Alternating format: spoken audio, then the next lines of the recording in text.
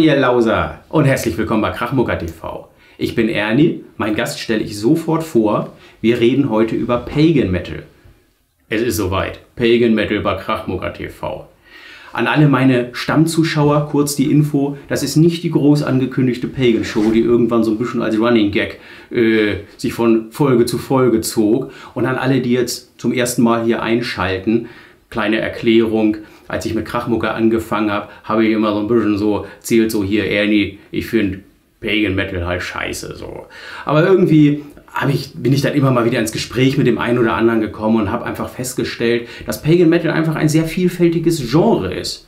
Und wo ich jetzt schon so mittendrin bin, ist es mal langsam Zeit, hier meinen Gast vorzustellen. Das ist der Stefan von Jörmungand. Moin. Und den habe ich nämlich auf dem diesjährigen Wacken mal wieder getroffen. Wir haben uns schon relativ häufig getroffen und es hat sich irgendwie einfach rauskristallisiert. Wir können uns gut unterhalten. So ein bisschen. Ja, was ihr nämlich gar nicht wisst, der ist heute schon ein bisschen früher hergekommen. Wir sind mit den Hunden spazieren gegangen. Balu geht es übrigens besser, also wie gesagt, operiert worden, aber alles wunderbar und vielen, vielen Dank für die ganzen Genesungswünsche. Ganz toll, hat er sich sehr darüber gefreut. Und äh, danach haben wir ein bisschen was gegessen, sind am Schnacken gewesen und eigentlich hätten wir das auch schon als separate Show aufnehmen können, aber wie das denn immer so ist, ne? Pagan Woher kommt es, dass ein Genre, was sich ja grundsätzlich aus dem Black Metal herausentwickelt hat, so kann man das ja sagen, heutzutage, obwohl es so unglaublich vielfältig ist, unglaublich viele auch sehr ernsthafte Künstler hat, äh, so, ja, ich sag mal, verlacht ist. Oder wenn ich auf ein beliebiges Festival meiner Wahl gehe äh, und das Stichwort Pagan Metal raushaue, dass die Leute mir das Stirn runzeln. Ich glaube, das hat ganz viel damit zu tun, dass vor ja, ungefähr zehn Jahren war das, glaube ich, ähm, dass da so eine starke Pagan-Folk-Welle regelrecht stattgefunden hat, ähm, der sehr viele, sehr viele Bands entsprungen sind, die es heute auch gar nicht mehr gibt. Die meisten klangen sehr gleich, viele haben irgendwie nur die Klischee-Themen bedient und deswegen ist das Ganze, glaube ich, mittlerweile sehr, ja, negativ konnotiert, würde ich fast schon sagen. Ich weiß gar nicht, ob wir da jetzt so weit zurückgehen müssen, aber einfach nur mal für den einen oder anderen, der so ganz unbedarft einschaltet. Also Black Metal jetzt zu erklären, das führt zu weit. Pagan Metal, daraus ist eine Beschäftigung mit den Stilmitteln des Black Metals, aber thematisch mit, ja, mit was? Wie, kann, wie würde so, mit, mit Wikingern. das sage ich jetzt mal so. Ne? Das ist natürlich viel mehr. Und ja. Äh, mit Germanentum, mit Sagen, mit, äh, ja, im Grunde genommen ein sehr historisch veranlagtes mhm. Genre, äh, mit dem sich ja auch viele dann auch sehr ernsthaft auseinandergesetzt haben. Was wir heute machen wollen, ist, wir haben uns separat, das habe ich ihm vorher als kleine Aufgabe gestellt, dass er mir so seine Top 10 seiner Pagan Alben mal auflistet. Und ich habe das für mich auch gemacht. Wir haben uns dabei nicht abgesprochen, sondern wirklich mal geguckt, so was kommt dabei raus. Mussten dann ein bisschen lachen, als wir verglichen haben. Wir haben hier 1, 2, 3, 4, 5, 5 Überschneidungen bei 10 Alben. Die blende ich jetzt hier mal alle ein über die Alben, über die wir heute sprechen. Habt ihr schon mal einen kleinen Teaser? Ja, so und anhand dieser Alben und noch so ein bisschen was darüber hinaus versuchen wir so ein bisschen mal diesem Thema näher zu kommen. Es steht keine Frage im Raum, würde ich jetzt sagen. Wir reden einfach mal drüber und gucken, wohin das Ganze führt. Denn ich denke mal, und äh, als ich angefangen habe, mich mit dem Thema noch mal so ein bisschen mehr zu beschäftigen im Rahmen so meines, äh, im Rahmen von Krachmucker, habe ich erstmal festgestellt, dass ich viele dieser Ursprungsbands alle im Plattenschrank stehen habe. Das sind Bands wie, und wir fangen jetzt einfach mal an, wir machen das mal so ein bisschen im Wechsel. Ich werfe jetzt mal Feathery mit dem Album Hammerhard in den Raum. Das ist 1990 rausgekommen, ist, äh, ja, bei Feathery kannst du so die ersten drei Alben als Trilogie nehmen, dann die nächsten mit Bloodfire Death, mit äh, Hammerheart und mit Twilight of the Gods, so die Viking-Phase, die sich nachher natürlich auch noch über grandiose Alben wie Blood on Ice weitergezogen hat und die Nordland ist ein Doppelalbum genau. oder zwei Alben, genau. Aber das war im Grunde genommen, sag ich mal so, der Startschuss was Quarton gemacht hat. So würde ich das auch bezeichnen, auf jeden Fall. Gibt es da auch andere Meinungen aus der Szene? Das ist ja auch der Grund, warum ich mir Stefan eingeladen habe. Ne? Also ich kann ja reden, wie ich will, aber er ist ja zumindest, äh, ja doch, du bist hautnaher dabei als ich. Das würde ich schon mal sagen. Was, was sind denn dort so die Einflüsse von auch Bands? Ist das dann auch so, dass man Battery dort als Grund Pfeiler nennt. Ja, also die, die Hammerheart, die steht natürlich ganz oben mit dabei, das ist ganz klar. Ähm, weil vorher hat es sowas in der Form eigentlich noch gar nicht gegeben, ähm, dass sich extremerer Metal oder grundsätzlich Metal mit, ähm, mit den nordischen Sagen befasst hat, mit, den, mit der Mythologie des Ganzen und so. Ja. Ich muss hier einmal kurz daneben. Der gute Neil aus Luxemburg hat mir wieder ein Paket geschickt. Oh, Moment. So, erst einmal hier raus. Oh, ist das ein schwerer Brocken. Das ist der Hammer, oder? Mit Bier. Und ich würde mal sagen, ich mache das jetzt hier direkt vor der Kamera auf. Das ist das erste Mal, dass ich das mache. Wahrscheinlich ist da jetzt irgendwie irgendwas Totes drin. Und 100 Jahre später. So. Hier ein Simon-Pilz. Hast du das gleiche? Ja, das habe ich auch. Ja. So, dann machen wir das doch hier mal auf. Ich gebe dir das hier. Oh ja. Schön. Ja, ah, das ist das gleiche. Wunderbar. Mhm. So. Mhm. Packe ich auch weg. Ich sag Prost. Prost. Prost an Neil auch und an euch.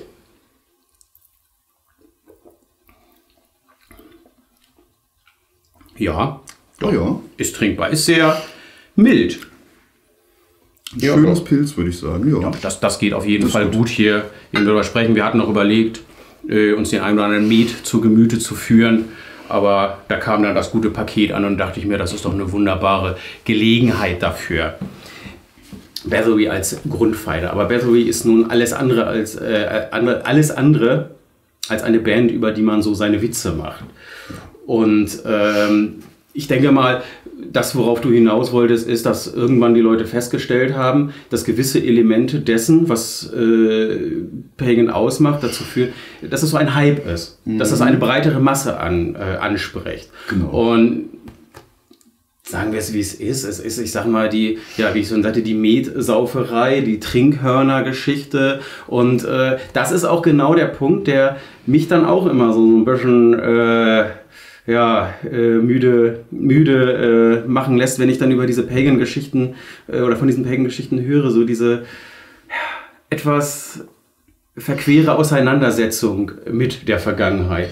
Ja. Die äh, anscheinend für einige Festivalbesucher größtenteils so aussieht, dass äh, die Germanen früher, also dass das Leben der Germanen früher größtenteils daraus bestanden hat, zwar in Rüstung, aber immer mit dem gefüllten Methorn durch die Gegend zu laufen und Odin zu schreien dass das Leben für die Herrschaften damals außerordentlich beschwerlich gewesen ist und mit Sicherheit für einen großen Teil derer, die die Musik auf diese Art und Weise abfeiern, nicht so angenehm gewesen mhm. wäre. Äh, darüber, ja, darüber haben wir jetzt gesprochen. und äh, von daher würde ich sagen, das Bathory-Album, es ist tatsächlich so. Es ist äh, für mich auch das Beste aus dieser Trilogie, ja. würde ich sagen, wenn man das so nennen kann. Die Blood on Ice finde ich auch unfassbar gut. Mhm. Die ist dann Jahre später gekommen, mit angeblich Aufnahmen aus der Zeit. Die sollte ja wesentlich früher auch erscheinen. Mhm. Was hast du denn als äh, Album auf deinem Zettel jetzt? Äh, ich habe dann tatsächlich die ähm, Hymns and Dirges von Tumulus noch. Wir haben das nämlich extra nicht sortiert. Und die Tumulus habe ich nämlich auch auf der Liste. Mhm. Jetzt hast du einige sehr interessante Sachen zu der Band zu sagen, auch was äh, zum Beispiel eine Band wie Menhir betrifft, die wir nachher noch nennen. Genau. Ähm, im Endeffekt ist es wohl so, dass das, ähm, das Album bzw. die Demo Hymns and Dirges von Tumulus maßgeblich dafür verantwortlich war, dass Men hier überhaupt diese Musik machen, die sie dann gemacht haben. Dass Alben wie Die ewigen Steine, wie Thuringia etc. überhaupt rausgekommen sind. Ja. Und äh, aus der Band Tumulus hat sich ja auch äh, Sotus Lohe genau. gebildet. Da habe ich mit einem von denen, also der Gitarrist von Sotos Flur ein bisschen Kontakt gehabt. Schöne Grüße übrigens. Ähm, das ist auch eine Band, die ich sehr früh, die mir sehr, schön, sehr früh äh, so ins Auge gestochen ist. Also das äh, erste Album von denen hatte durchaus so sein. Mhm. Wie war denn das, als die ersten Pagan-Sachen damals rausgekommen sind? Äh, was die Rezension, ich sag mal, in den, im, im Metal-Fachblatt betrifft? ja, die, die Rezensionen sahen eigentlich eher außerordentlich negativ aus. Ja. Ähm, die, die erste Min hier war, ähm, was stand da drin? Ähm, Kirmesmelodien zum Mitpfeifen, das Ganze dann auch noch auf Deutsch. Das ist wohl sehr, sehr peinlich gewesen. Ja. Ich habe die Thuringia für mich mhm. rausgegriffen von 1999 und ich muss schon sagen, also Menhir, wenn man es mal so betrachtet und ich überlege, was mir an Pagan nicht gefällt, dann ist Menhir irgendwie sehr, sehr, es ist so ein ganz schmaler Grad, sehr nah dran in diesen Bereich, in diesen kitschigen Melodiebereich zu rutschen. Ich fand sie aber immer authentisch. Ja. Woran liegt das? Das liegt, denke ich, zum Großteil daran, dass die Jungs ähm, das äh, historisch gesehen sehr, sehr ernst nehmen und auch ähm, zum Großteil Reenactment machen. Genau. Das, darauf wollte ich eben hinaus. Also die beschäftigen sich sehr viel mit dem, worüber sie singen. Es ist auch nach wie vor so, dass ich das immer etwas merkwürdig finde, gewandete Gestalten mit E-Gitarren auf der Bühne zu sehen. Aber in dem Fall ist es schon so, das macht schon Sinn, wie es ist. Ja. Und was man natürlich nicht macht, ist kleine Bands mit wenig Reichweite jetzt hier äh, in einer Pagan Show irgendwie doof dastehen zu lassen. Äh, deshalb nenne ich natürlich keine Namen, aber was so an gewissen Pagan Bands für mich halt manchmal so ein bisschen das ist einfach lächerlich, wenn, wenn so, ein, so ein Gitarrist, also ich sag mal so ein Durchsichtiger wie Markus Rühl das sagen würde, da äh, so dünne Arme, aber Kettenhemd und irgendwelche äh, Lederschulterplatten da auf der Bühne trägt und dann da irgendwas von äh, was auch immer man dann so singt, wenn man. Von irgendwelchen epischen Schlachten. Von irgendwelchen epischen wurden. Schlachten singt. Die, also, da gibt es im Postillon äh, einen schönen Bericht darüber, äh, was mit Rollenspielern im tatsächlichen Mittelalter passiert wäre. Sollte ich, glaube ich, da unten mal verlinken. Ich sehe zu, dass ich das finde.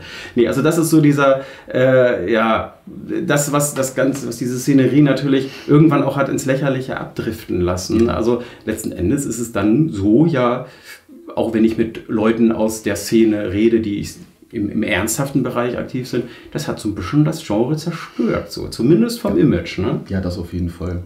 Ich denke, vor allem war das, ähm, waren das eben solche Vertreter, die dann, ich sag jetzt mal ganz böse, mit, äh, mit HM-Kilt und äh, Hörnchen an der Seite mhm. über einen Festivalplatz gelaufen sind und Odin gebrüllt haben. Ja. Und mit dem Ganzen eigentlich an sich nichts zu tun haben. So, jetzt spielst du ja aber selber in einer Pagan Metal Band. Ja, ja. Um, wie stelle ich die Frage? Wie, wie ist denn deine, äh, also ihr habt dann ja auch die ein oder anderen Konzerte gespielt und mhm. höchstwahrscheinlich auch mit anderen Pagan Bands. Mhm. Wie ist denn da so deine Erfahrung gewesen? Und sowohl von Bandseite, du musst ja keine Namen nennen, wenn da mal etwas äh, eher äh, nicht so dolles war, aber auch so von Besucherseite. Hast du dich da auf der Bühne manchmal dann auch merkwürdig gefühlt?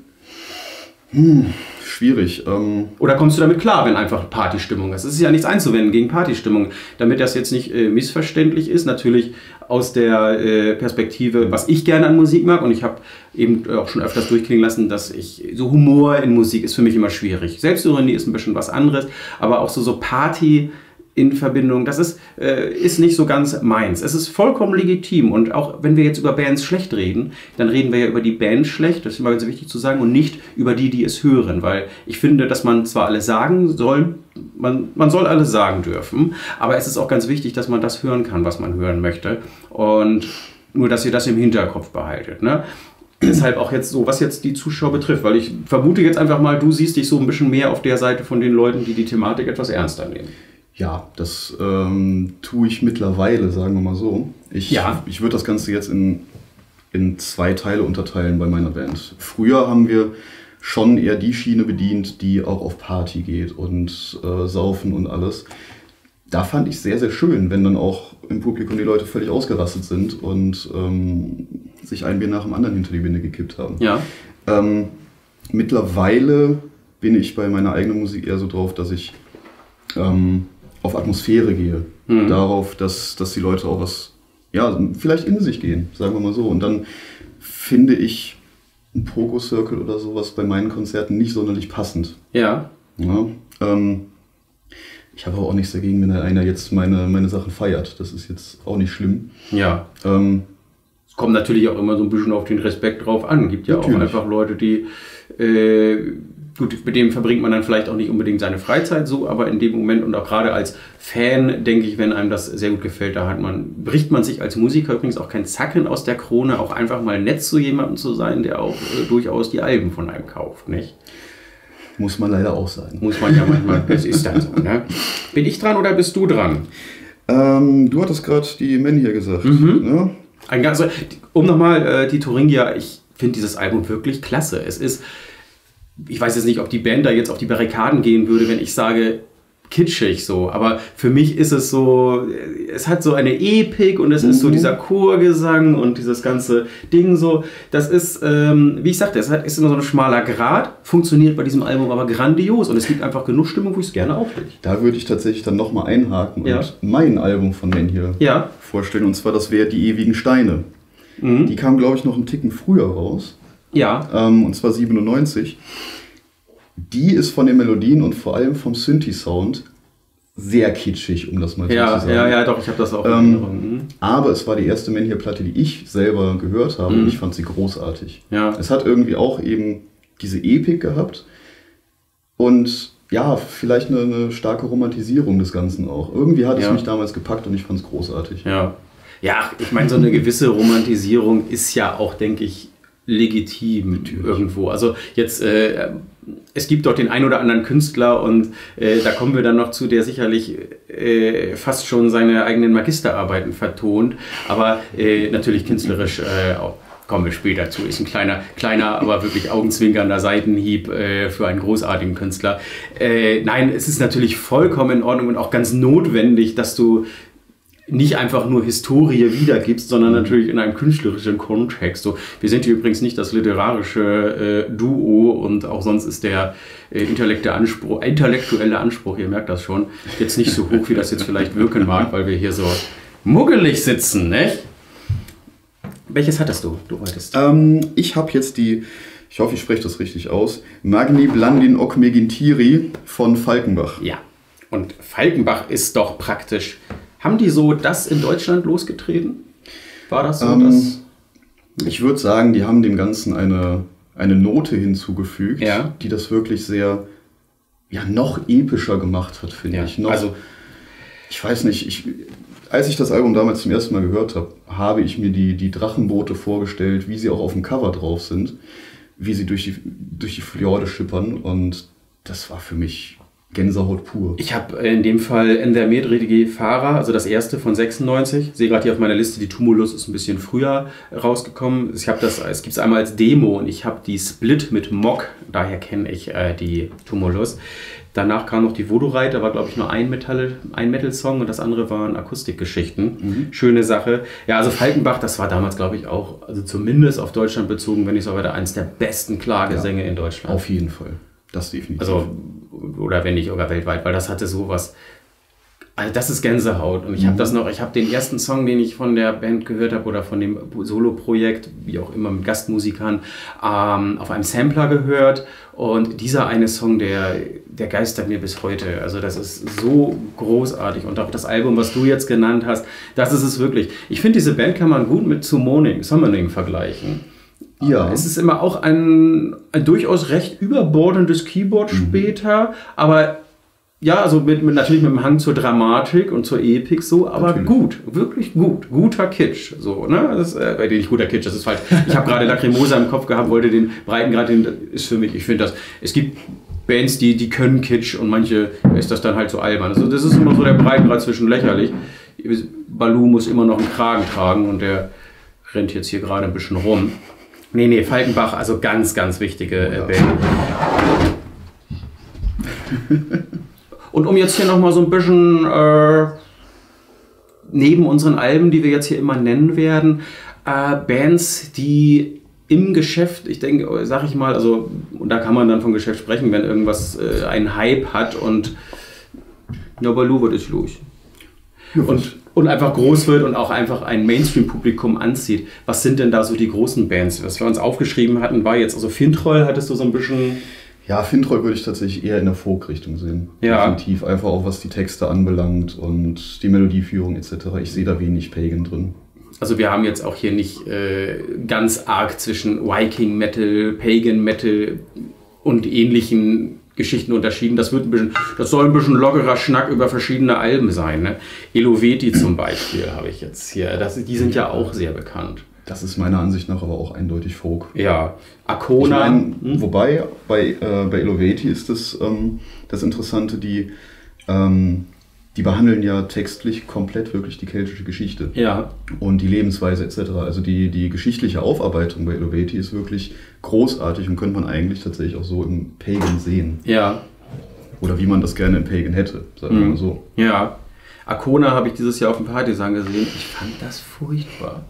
Ja? Ja, überhaupt nicht mein Ding. So, also das war auch, also auch, so, äh, ich weiß jetzt nicht, ob das jetzt irgendwo, vielleicht war das dann auch der Sound und auf dem Open Air und die Atmosphäre so. Wir hatten auf dem Ragnarök mal äh, zusammengespielt und die hatten, glaube ich, ein, zwei nach uns oder so. Auf jeden Fall hatte ich das ziemlich später nach uns in Erinnerung und natürlich, weil es war massiv mehr los dort so und man hat schon gesehen, dass das eine Band ist, die viele interessiert so.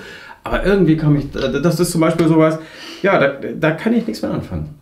Ich tatsächlich schon. Ja. Also Arcona finde ich ähm, persönlich super. Mhm. Ich mochte das letzte Album auch sehr gerne, vor allem weil es nochmal deutlich düsterer wurde und wieder ja, äh, ritueller wurde schon fast. Ja. Kann man sagen.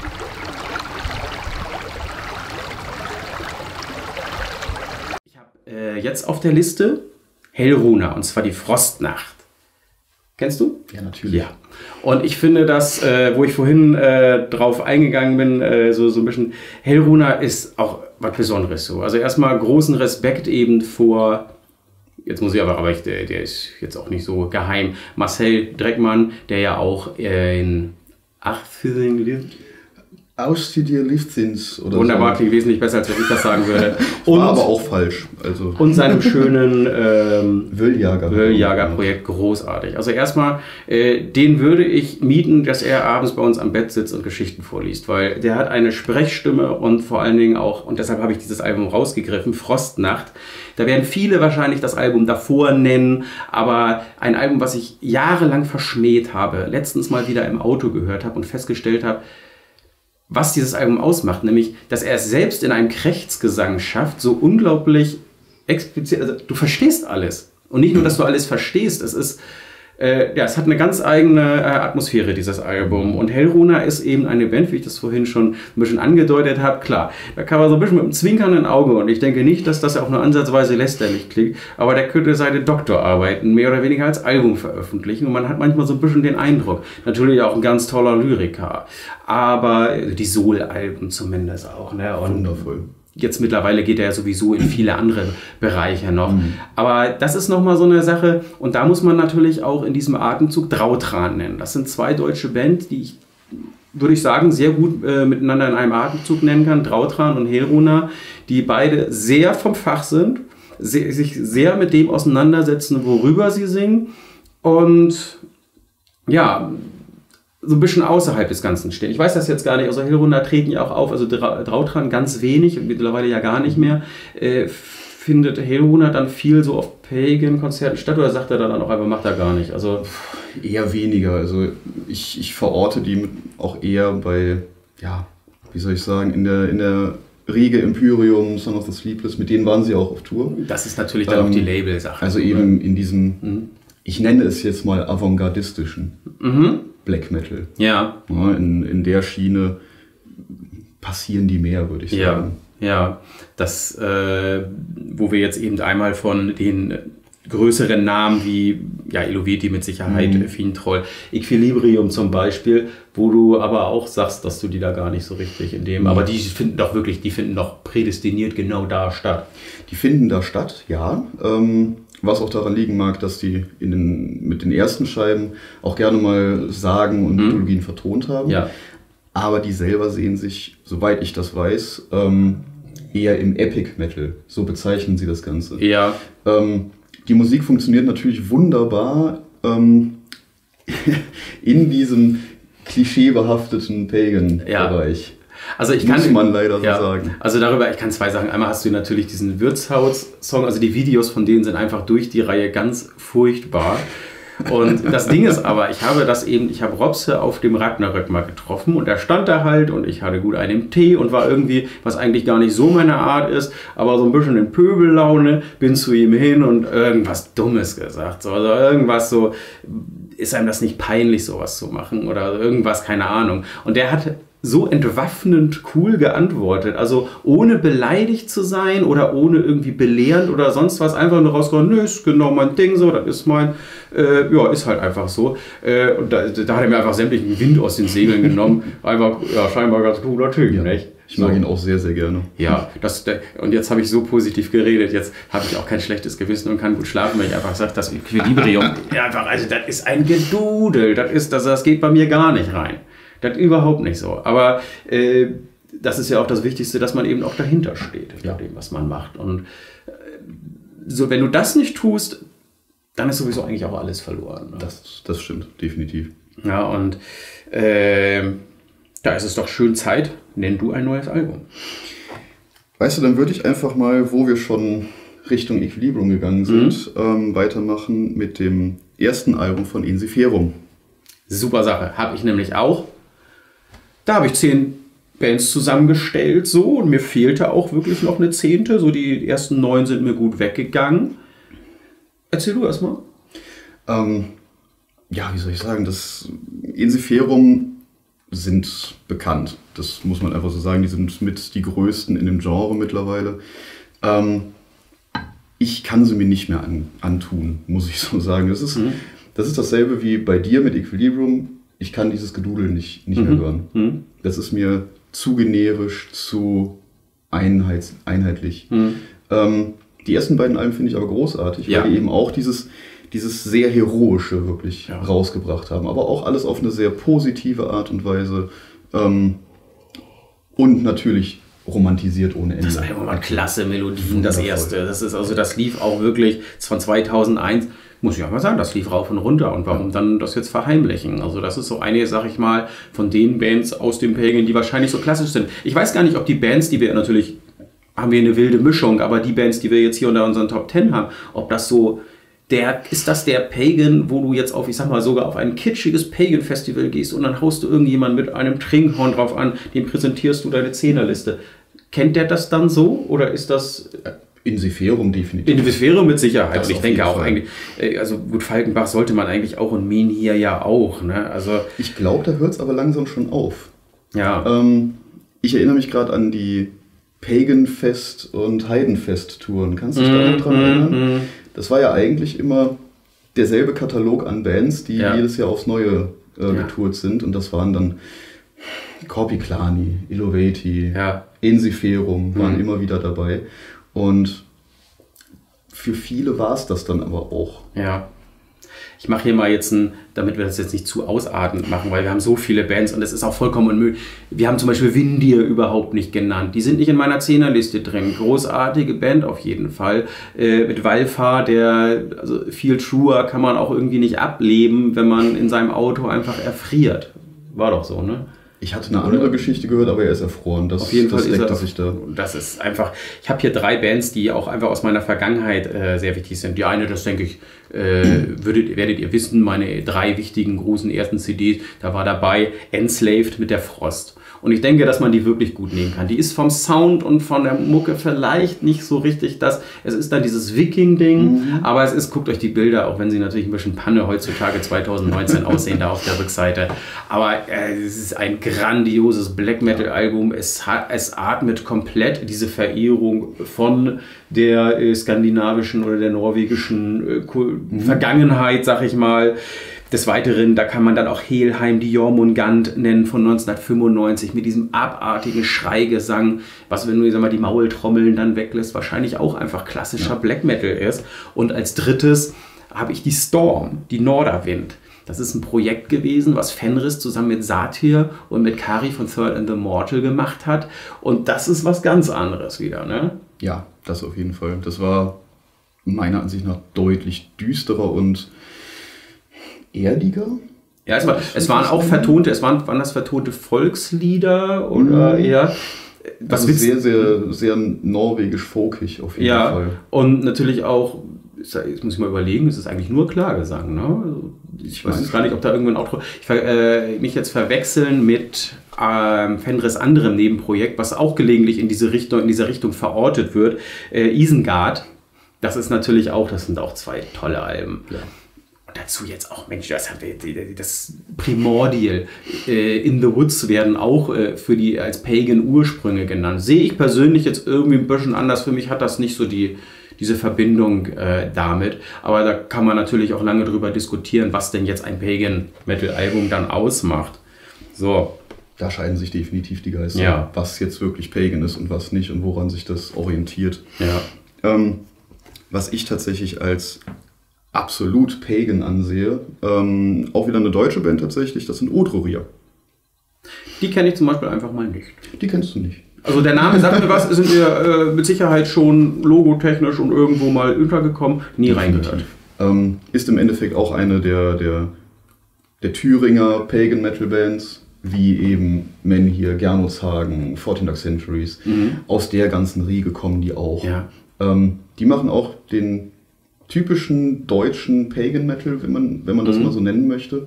Ähm, aber eben ja weniger metallisch als, als zum Beispiel Men hier. Mhm. Das Ganze dann wirklich eher auf die Folklore der, der Germanen bezogen und die haben auch ähm, zwei Alben rausgebracht, in denen sie die, die Edda komplett vertonen. Ja. Das waren die Götterlieder 1 und 2. Ja, die, äh, also Menia haben ja zum Beispiel Das, das Hildebrands. das Hildebrandslied. Ihr müsst ihr euch auf YouTube mal angehen. Also das ist überhaupt eine Band, ich sag mal, von der äh, Größe, das hat im Millionenbereich ist das ja geklickt. Aber das ist auch ein toller Song. Also Großartiger wirklich, Song. wirklich gut gemacht so.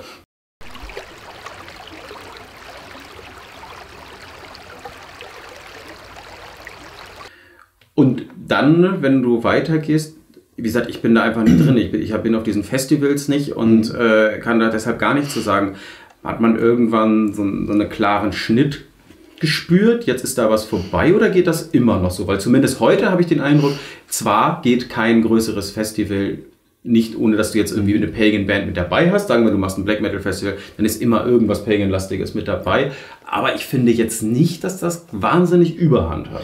Nee, also ich weiß nicht, ob es damals einen klaren Cut des Ganzen gab, aber es war irgendwann halt wirklich die Luft raus. Und dann von beiden Seiten. Sowohl die Musiker hatten keine Lust mehr, als auch die, ähm, die Fans hatten keine Lust mehr darauf. Ähm, vor allem eben dadurch, was ich ja vorhin schon gesagt hatte, dass das Ganze sehr klischeebehaftet wurde. Mhm.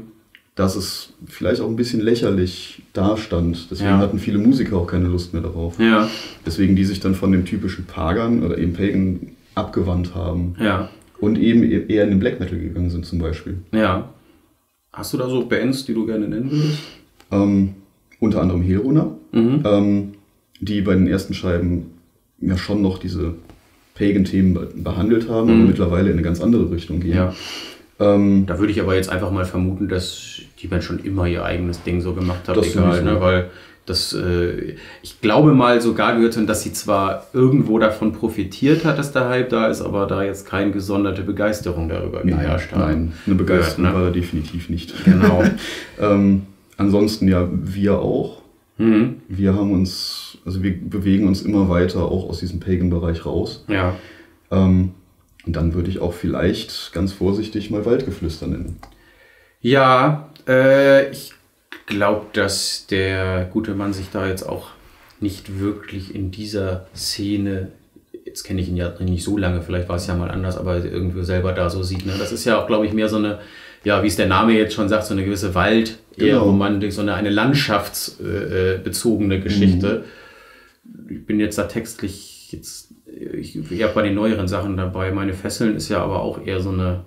Ich gucke gerade neben die Kamera, weil die bezaubernde Natascha da sitzt und das ist ihr Lieblingsalbum. Ist ja auch eher so eine, so eine innere Gedankenwelt, die dort. Ne, Ja, und der dann vielleicht von der Natur mehr. Ja, genau. metaphorisch dann bezogen. ne? Also jetzt so Waldgeflüster habe ich zum Beispiel nicht. Ich glaube, oder hat er mir nicht, glaube ich, mal erzählt, dass sie da immer gesehen wurden, er das aber mal ganz, ganz furchtbar gefunden hat. Ja, Ja, ja. so hatte ich das, glaube ich, auch mitbekommen. ja, ja. Was mir gerade tatsächlich noch einfällt, ähm, sagt dir die Band Bifröst noch was? Ja, Ja. da kennen wir doch den Gitarristen, ne? ja, Richtig. Ja, das ist doch, ist ja kein Geheimnis. Ist, Nee, Matthias, ist Matthias von Harakiri for the Sky. Richtig. Und der geht da auch ganz offen mit um. Ich weiß noch, als wir uns kennengelernt haben damals, da war ich ja auf dem allerersten Harakiri for the Sky Auftritt, für den sie jetzt ja gerade das Jubiläum gehabt haben, wo ich auf dem Way of Darkness gewesen bin. Leider, das hätte ich sehr, sehr gerne gesehen so. Äh, nee, nee, der geht da ganz offen mit so um und dann hat er halt, er hatte glaube ich dann einfach nur keinen Nerv mehr so auf diese Art von Musik Ja. und hat dann da weitergemacht so, ne? Nö, der ist da vollkommen. Was wolltest du da erzählen? War das jetzt? Ähm, es geht mir da tatsächlich mehr darum, dass man sich dann irgendwann von, diesem, von dieser Art der Musik verabschiedet hat. Ja. Ja, genau. Das ist. Ähm, wirklich, ich kann mich noch daran erinnern, wie wir bei ihm gesessen haben und wir haben viel Musik gehört und waren auch bei vielen Dingen einer Meinung und er hatte mir dann irgendwann äh, Bifrost vorgespielt und meinte aber auch gleich so, ja, das ist sowieso nicht dein Ding, das findest du scheiße. so, und das, das war schon wunderbar gemacht. Das Ding ist ja einfach, dass äh, wenn du in der Lage bist oder wenn du das Talent oder äh, das Vermögen hast, tolle Melodien zu erschaffen, dann kannst du das sowohl im Pagan als auch in anderen Bereichen, beziehungsweise wenn du das in dem jetzigen, ich sag mal, post-black metaligeren Bereich von Harakiri, dann wird das auch äh, bei Bifrost eine gewisse Qualität gehabt haben. Äh, es ist so, äh, das ist, äh, kommen wir auf euer letztes Album, das hieß? Zwischenwelten. Ja, das ist, äh, das ist dann zum Beispiel ein ganz gutes Beispiel. Also ich würde nicht auf die Idee kommen, das jetzt zu verreißen, aber es ist überhaupt nicht so mein Ding, weil genau das ist so dieses, äh, nicht Gedudel in dem Sinne, sondern diese, ähm, ich glaube, es ist oft das mal das Keyboard. Ja. Was, Kann ich was, verstehen. ich kann, gerade wenn du äh, selber so, wir haben uns ja schon oft unterhalten, so, und ich denke immer, können wir auch, ich meine, du kannst mir genauso gut Kontra geben, wenn ich jetzt hier irgendwas Blödes sage. Äh, für mich erschließt sich da manchmal nicht so, nicht die Ernsthaftigkeit der Musik, die Ernsthaftigkeit, äh, die, die, ähm, die düstere, die düstere äh, Ausstrahlung des Ganzen, wenn du dann so ein, oder das ernste Thema, wenn du dann halt so ein, so ein Überboard, so, so ein Keyboard, dieses, diese Art von Keyboard hast. Das kann ich absolut verstehen. Hilf mir raus und sag einfach was dazu. Ähm, ich denke, das kommt immer darauf an, welche Instrumente jetzt man Ja. synthetisch erzeugt, ob das jetzt Flöten sind oder Ja. irgendwelche. Oh, es sind Flöten. Es ist, es ist immer, es ist. Ah, ganz schlimm.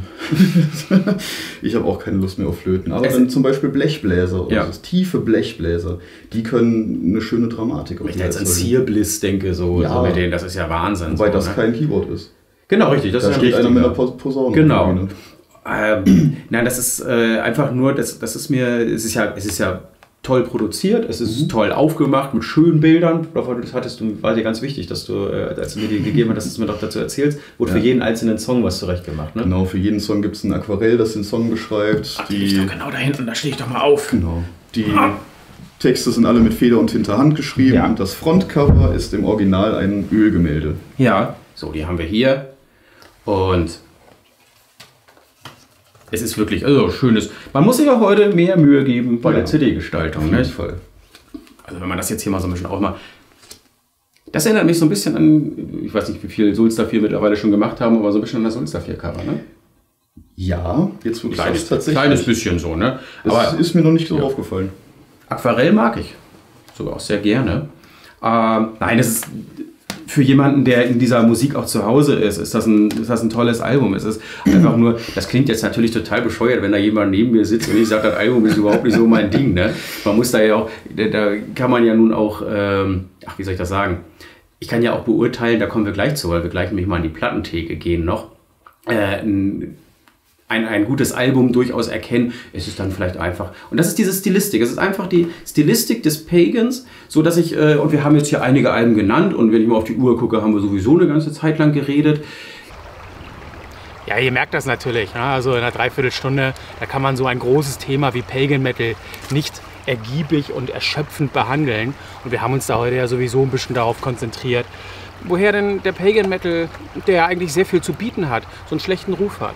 Wir hätten noch viel mehr über Alben reden können, so wie in der deutschen Black Metal Show, wo ich ein Album nach dem anderen rausgehauen habe. Aber wisst ihr was? Das sollte heute einfach mal ein schönes Einsteigergespräch sein. Und wenn euch das alles interessiert, dann machen wir da irgendwann noch mal weiter mit einem anderen Gast zu einem weiteren Schritt in dieses wirklich, finde ich, spannenden Themas.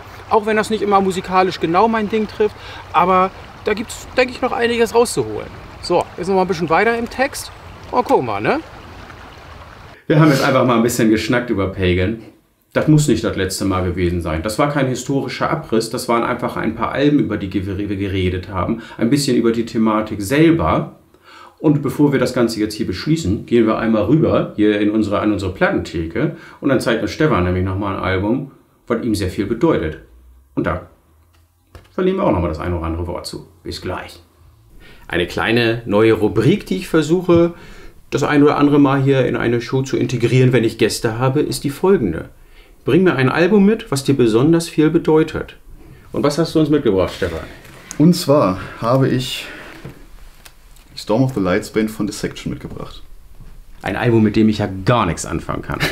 So, erzähl. Ja, und zwar für mich ist es tatsächlich eines der absolut wichtigsten Alben in meinem Leben, denn vor tatsächlich genau 20 Jahren war der Song Night's Blood der allererste Black Metal Song, den ich in meinem Leben gehört habe. Damals mit 10 Jahren, der kleine Stöpke, der dann plötzlich dieses Geholze hört, das war schon eindrucksvoll.